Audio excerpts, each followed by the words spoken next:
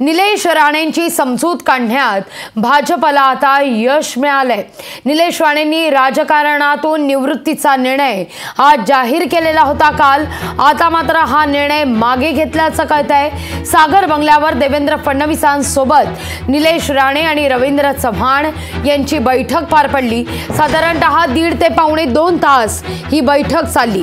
या बैठकीनंतर रवींद्र चव्हाण यांनी प्रसारमाध्यमांशी संवाद साधलाय. नेमका काय म्हणालेत रवींद्र चव्हाण? पाहणार आहोत आपण. भविष्यात सिंधुदुर्गातील निवडणुका या राणेंच्या नेतृत्वातच लढणार असल्याचं रवींद्र चव्हाण यांनी या बैठकीनंतर जाहीर केलेलं आहे. इतकंच नाही तर या बैठकीनंतर निलेश राणेंनी राजकारण निवृत्तीचा निर्णय मागे घेतल्याचं सांगितलंय. निलेश राणेंनी ज्या अडचणी सांगितल्या आहेत त्या सोडवण्यावर भर दिला जाईल असं सुद्धा रवींद्र चव्हाण यांनी स्पष्ट केलंय.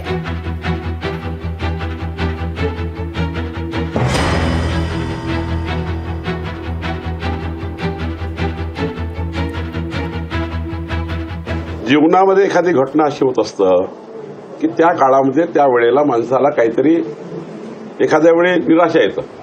पण मला नाही वाटत की निलेश राणे जसा काही निर्णय घेतील एखाद्या वेळी बोलताना बोलले असतील बोलले असतील.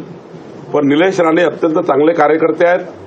निलेश राणेंनी कुडाळ मतदारसंघात प्रचंड काम उभं केलं आहे. मी स्वतः परवा रत्नागिरीमध्ये जाऊन आलो. दिवसभर निलेश राणेसोबत होतो.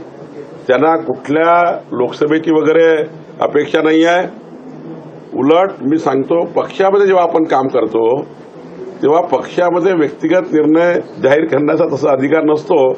पण त्यांना काही त्यावेळेस वाटलं असेल पण मला माहिती आहे जो पक्षादेश निलेश राणेला दे- देण्यात येईल ते पक्षादेश ऐकतील. रागवून का होईना? हा निर्णय घेतला होता.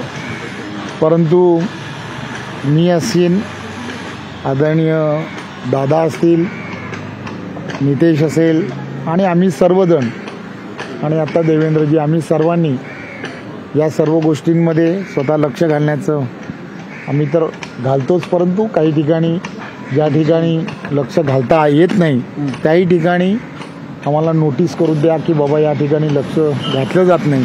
नक्की आम्ही सर्वजण त्यामध्ये लक्ष घालू असं त्यांना आश्वासित केलं आहे आणि एक चांगला कार्यकर्ता पक्षाच्या कामातून बाहेर जाणं हे पक्ष संघटनेला सुद्धा परवडणारं नाही.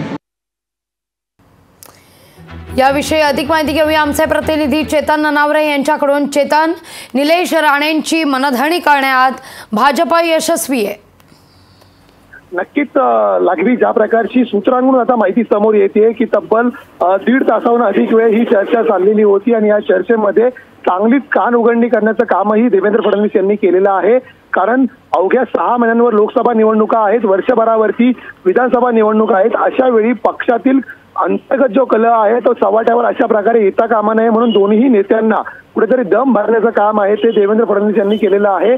आणि एकत्रितपणे येणाऱ्या सर्व निवडणुका आहेत त्यांना सामोरे जाण्याचे आदेशही दिलेले आहेत. जे काही ग्रामपंचायत स्तरावरतील वाद असतील आणि तिथपासून लोकसभा निवडणुकीसाठीची तयारी असेल याचा सर्व आढावा आहे तो फडणवीस यांनी या बैठकीत घेतल्याची माहिती समोर येते.